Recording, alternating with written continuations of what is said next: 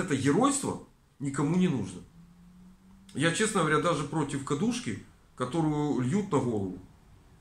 Потому что атеросклероз сосудов сегодня э, у мужчин стартует с возраста 25 лет. Это американские исследования. То есть э, молодой мужик, то есть он не имеет права это сделать. По той простой причине, что есть мышцы скальпа, есть череп, есть венозные синусы, через которые, ну, дырки, как дуршлаг череп, вообще-то. Венозные синусы, через которые идет отток венозной крови.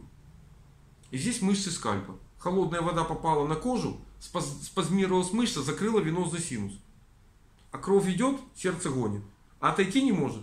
И вот в том месте, где вот такая беда произошла, вот здесь венозная полнокровие, сосуд может не выдержать. Вы записываете себя? Да. И сосуд может не выдержать. Может быть инсульт. Легко и просто. Женщинам, э, то есть говорят, ладно, голову можно льем на спину, если есть вегетосуистодистония, лить нельзя.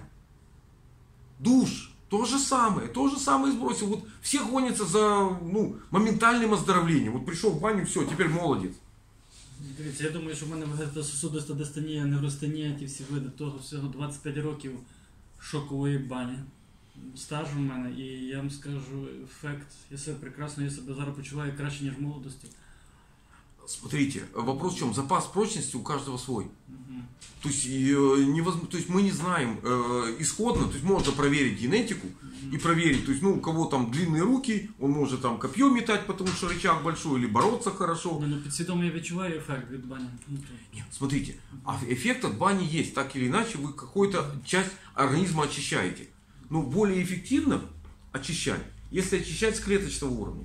Когда вы пьете воду в бане, вы просто изно- изнашиваете сердце. Ну, І насчет вопрос- я згідний. От насчет термо такої обробки, як ми то робимо в себе, я думаю, що той шок такий, ну, так якби для профілактики Ні. організму він корисний. Подождите, подождите. Привикання до Смотрите, стресу і відповідно у- оновлення всіх процесів і перезагрузка повністю комп'ютера, і він працює по никто никуда не перезагружается. Ні? Стрессовый фактор, его, не, да, его нельзя отменить. Есть, просто если верить Гансу Селье, Угу. то стрессы делятся на две категории. Тренирующий эустресс, пока хватает генетики, и разрушающий дистресс.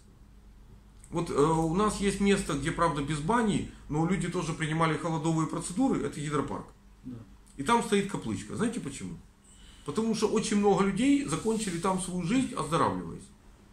На- Начиная, с- ну, Иванов не там умер от гангрены конечностей, продолжая лечиться э, своим же методом. Порфирий? Автор детка, да. Да.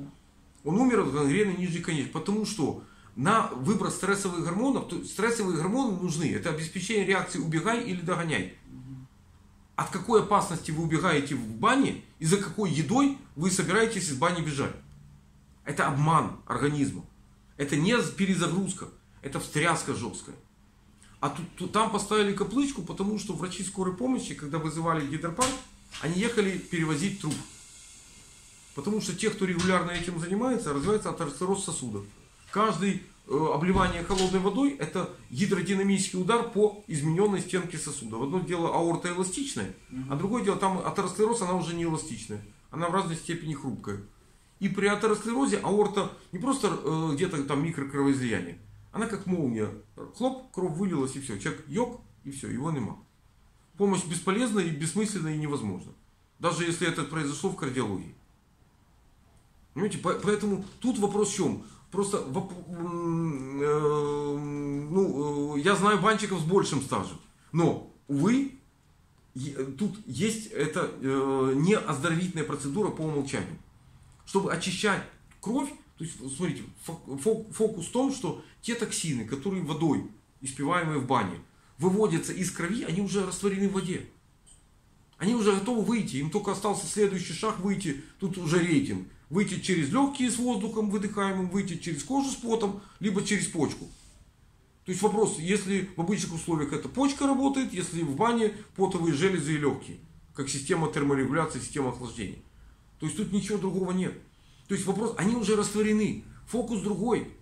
Как растворить в воде те токсины, которые находятся в клетке, которые находятся в соединительной ткани. И они там висят, потому что не хватает им воды. И вот воду туда забросить, в клетку,